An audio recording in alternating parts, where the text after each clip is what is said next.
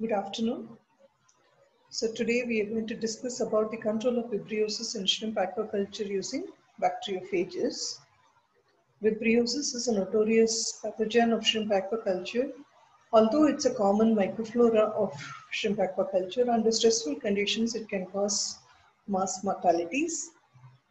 And we all know that 90% of the vibrios in salt water is resistant to one, at least one antibiotic, and almost 20% of them are resistant to five antibiotics today. Although there are numerous problems caused by vibriosis, the major one being luminescent vibriosis, and of late there's huge production loss because of white fecal syndrome. A recent uh, literature from University of Arizona postulate that white fecal disease is a combination of three factors.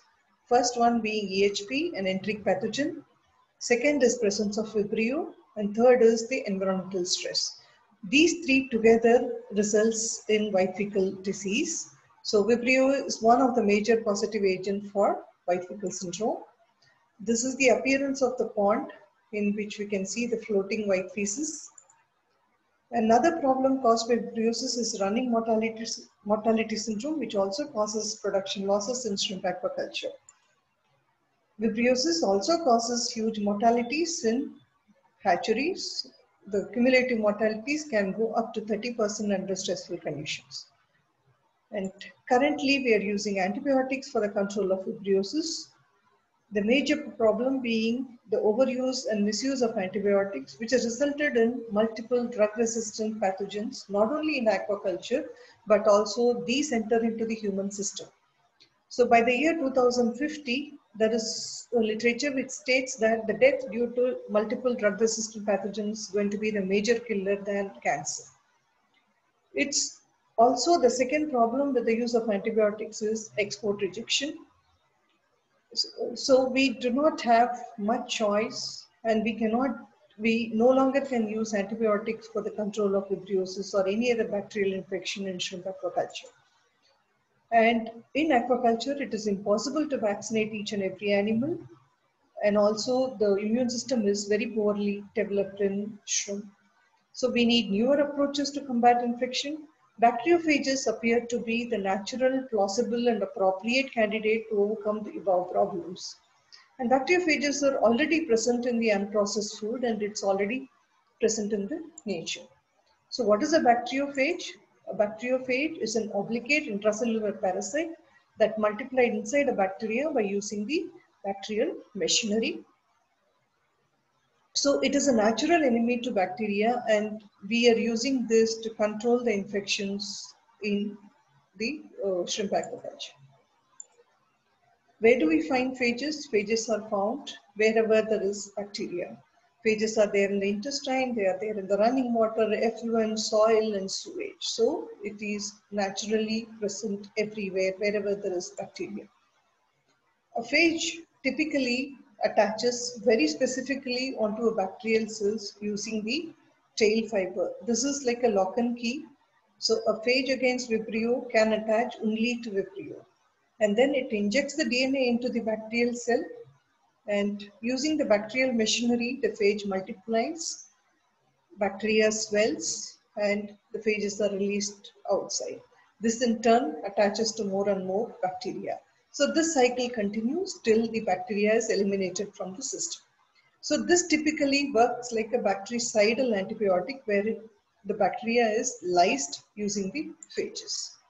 So this is the pictorial representation where we can see the attachment of bacteriophage using a tail fiber onto the bacterial surface.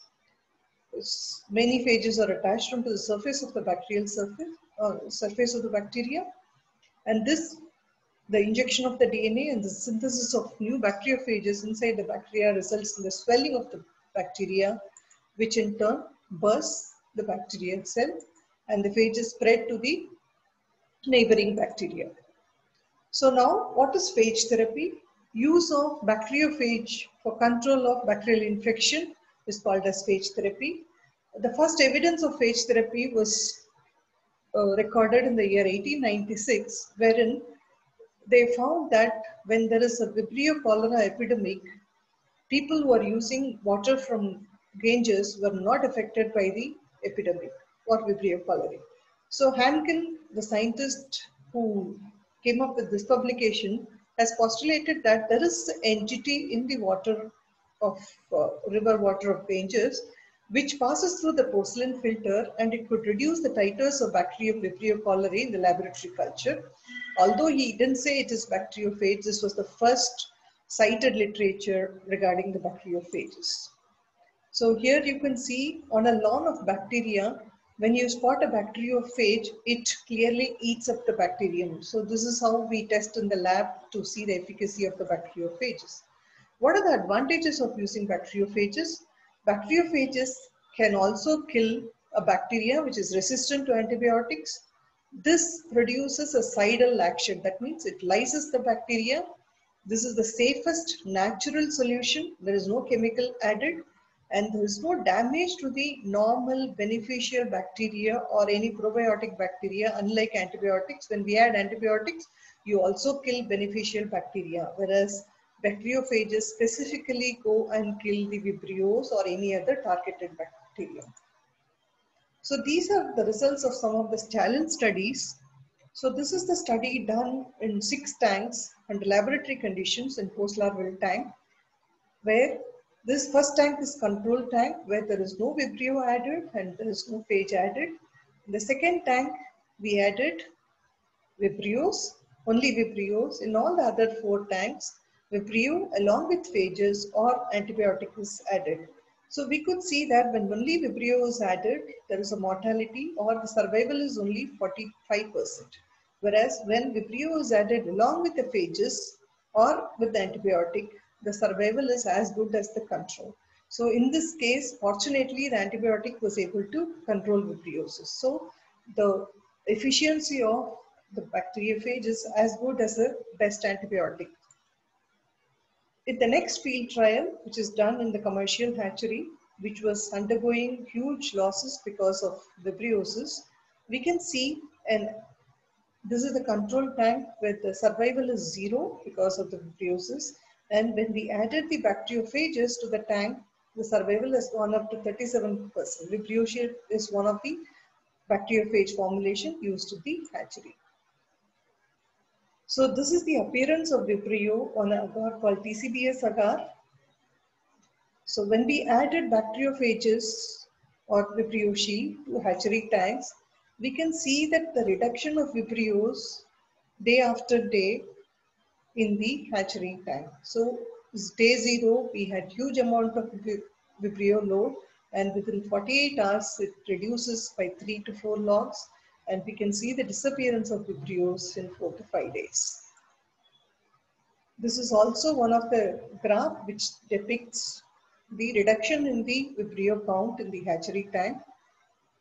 So the blue line indicates the tank in which probiotics was used, where the CFU or colony forming unit per ml was 10 per 5 after 9 days, whereas in the tank when we used vibrio uh, phages, the count was three logs lower than the control time. So this is another field trial which compares antibiotics with probiotics and bacteriophages. So here we can see that in this study, the antibiotics has failed to control the vibrios, hence the survival is only 40%. Using probiotics, the survival is 60% and using Vibrio Shield, that is the bacteriophage, survival is around 72%. This is the small scale study done under time. So these are the two formulations which is available. Vibrio Shield is available for hatcheries and Elixir is available for the growouts. So this is another study which again proves that the phages are bacteriophages are effectively able to control the vibriosis under hatchery environment. The blue one, the control where probiotics is used, the survival is around 45%, whereas when Vibrio Shield, that is the bacteriophage was used, the survival is around 57%. So this, these are the results of a field study done using Elixir, a grow-out formulation containing bacteriophages. This was done in a farm in Andhra Pradesh. 14 ponds were selected, out of which four were used for elixir application and 10 was for probiotic with a regular management.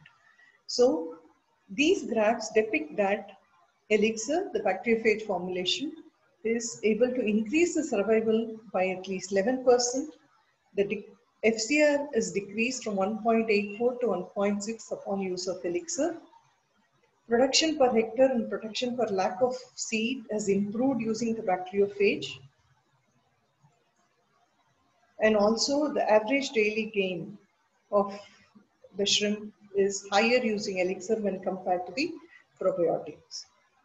And also the economic analysis of the production per acre using elixir versus probiotic says that the benefit to cost, benefit to cost ratio using elixir is 1.35 as against 1.06 using probiotics.